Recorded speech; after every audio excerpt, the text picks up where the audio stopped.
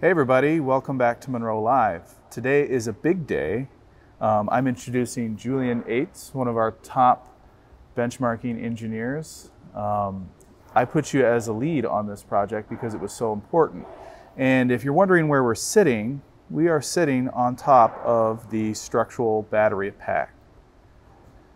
And it really is quite amazing. When we dropped this from the car, it drew a crowd of roughly 30 to 40 people at Munro it is something that we haven't seen really ever. And today we're going to walk through what we've already found that we didn't already uncover when Sandy and I went to the Giga Texas factory about two or three months ago. Um, so first of all, it is just phenomenal that these seats are mounted to this battery pack and we were able to drop it from the car.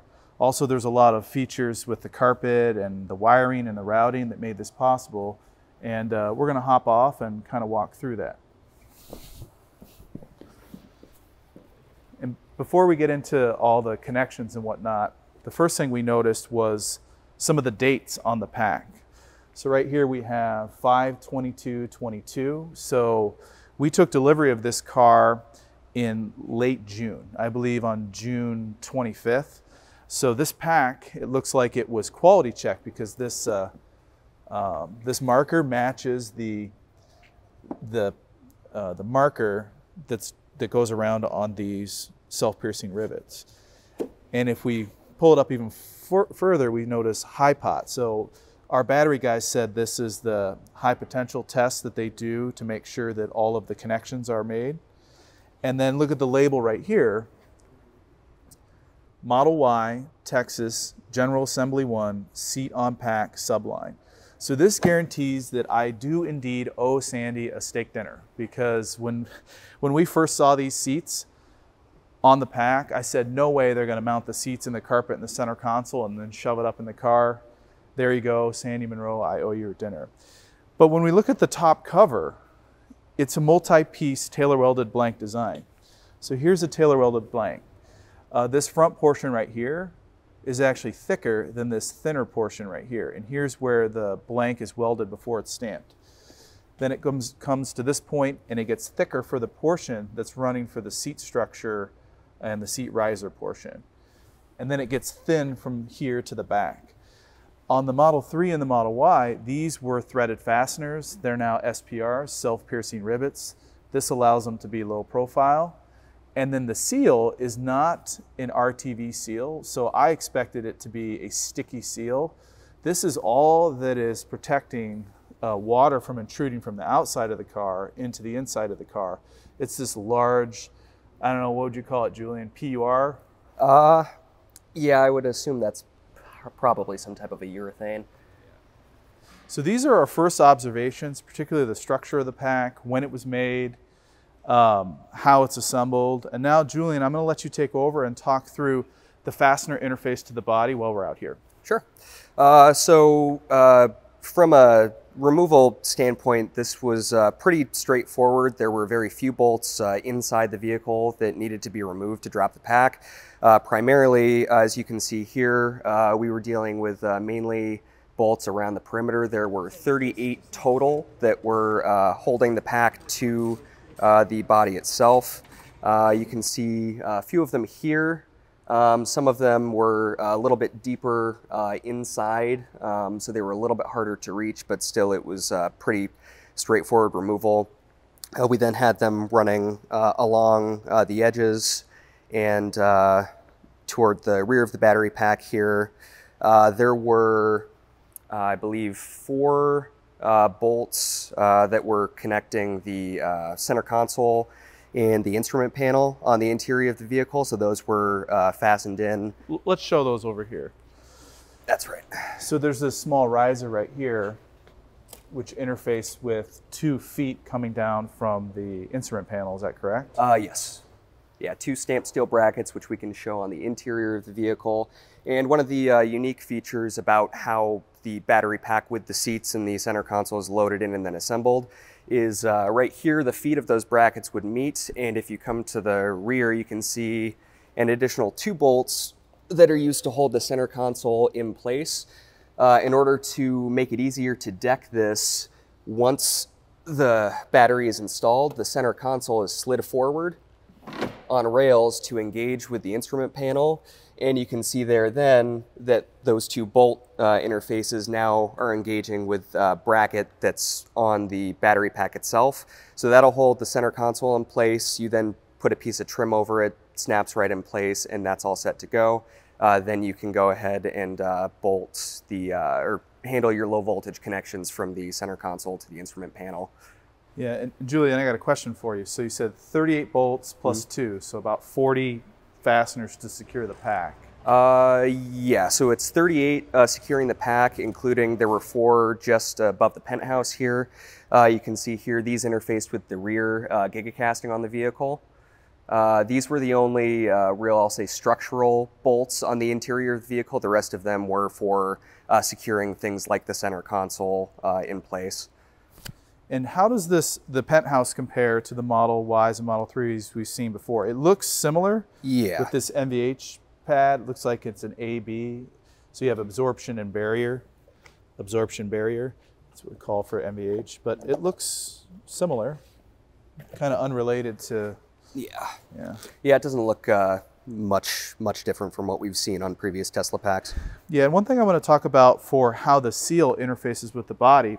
So you do have the some stampings on the the rails going, you know, fore aft, but right here is where the rear gigacasting is, and notice that the shape, the witness mark from the pressure of that gigacasting pressing against the seal is really unique. And the one area we noticed where it could be a potential problem is right here where it transitions from this flat surface down. There's not as much of a witness mark. So we were wondering if this wasn't pushing as hard here.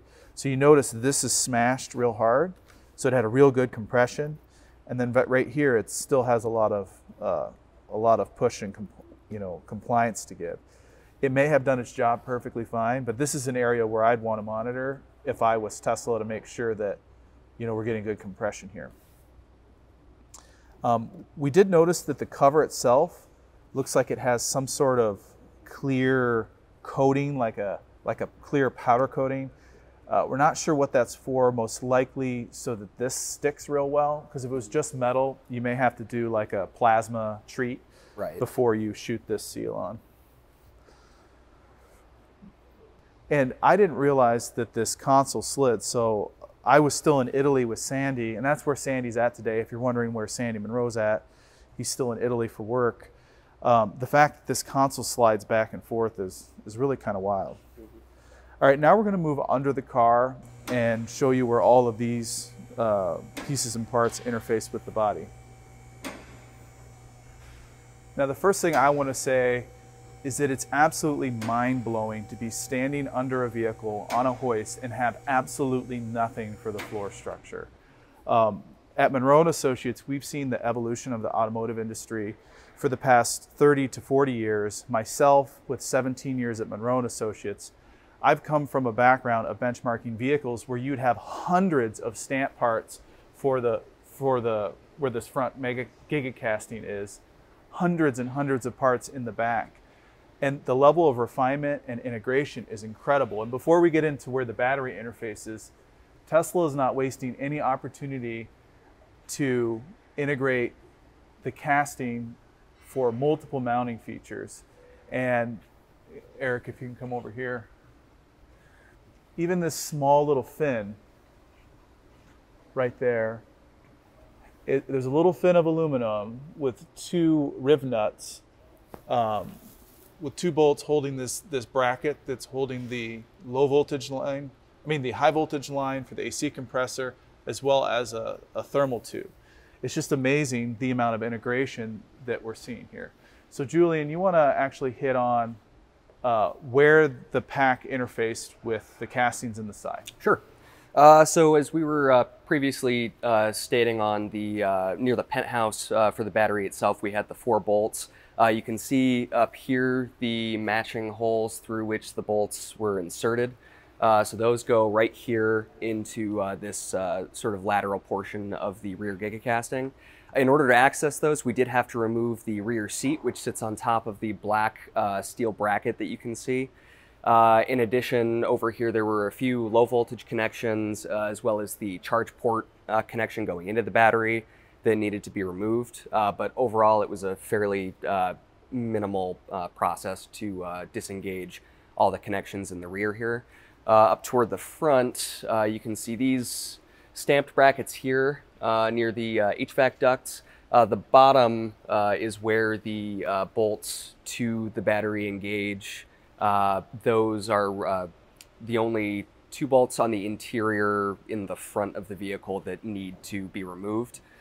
Uh, outside of that, there were a number of low voltage connections. Uh, each of the front seats had to be disengaged.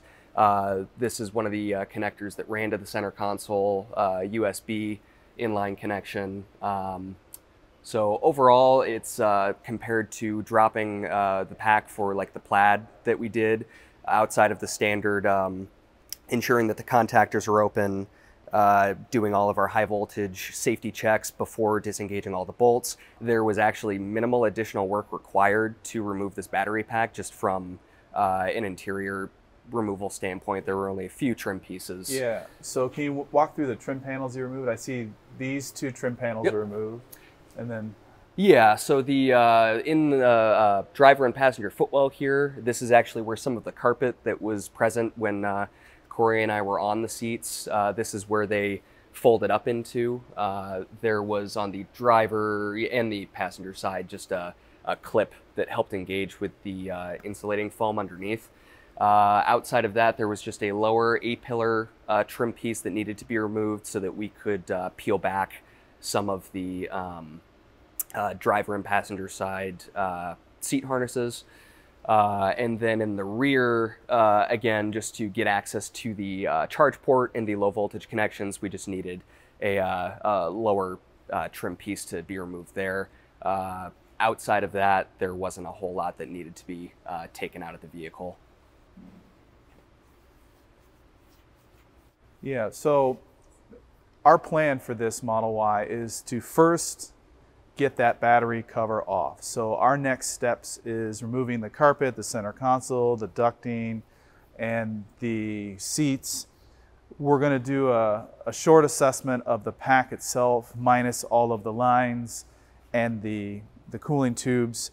I believe this weighed 1,200 pounds. Do you know the exact weight, Julian? Uh, yeah, it was uh, 1,198 pounds. Okay.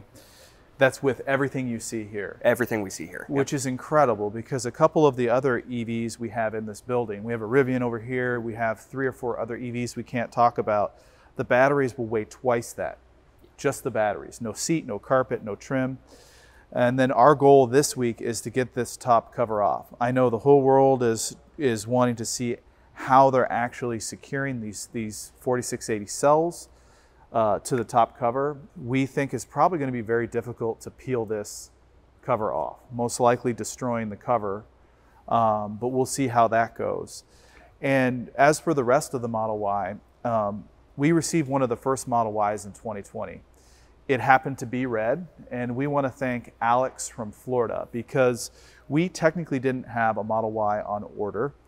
Um, but we have a, an amazing following on Munro Live. And Alex from Florida, he wanted to omit his last name, reached out to us and says, Hey, I have a Texas Model Y coming.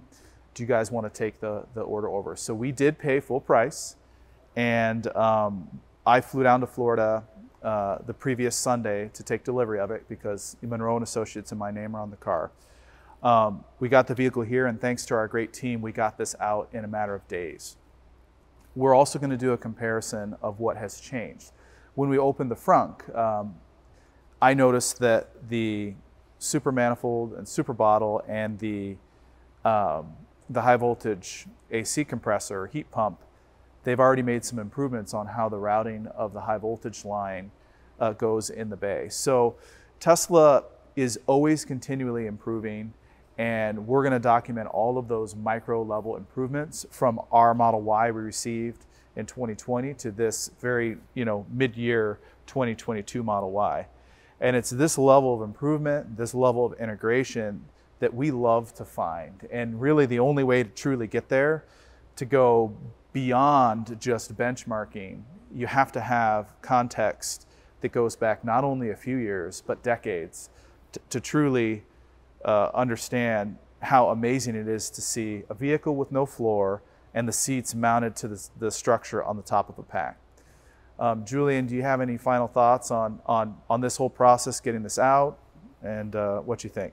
Uh, overall, uh, it was um, uh, much more straightforward than I was expecting. Uh, I think it was, uh, especially when we had it removed and took a look at uh, how it could lift back up into the vehicle, seeing what the assembly process may look like. I, I think it's incredibly well done. Um, there are a lot of considerations here just in terms of ease of assembly, uh, that I, I think were uh, achieved very well. And uh, I'm looking forward to seeing what's inside the battery pack itself. Yeah. And one last thing we are selling the 4680 cells just like we did on the Model Y back in 2020. There is way less of them. So we think there's roughly 800 to 850 cells. We'll, we'll know the final count. So they are kind of expensive. I know some people have kind of choked at the $800 price point but they're actually selling like crazy. So uh, though you can pre-order those cells on munrolive.com. There'll be a link in the description. Um, we're already 25 to 30% through uh, selling the amount of cells that we want to. And other than that, we really appreciate everybody for subscribing. We're approaching 300,000 subscribers and we're going to dedicate probably six to 10 episodes just to this Model Y. So this is just the first one, the pack out. Sandy Munro will be back on Friday this week. So you'll probably see him for the cover off battery uh, with some of our new faces here at Munro like Julian. So thanks for watching and have a nice day.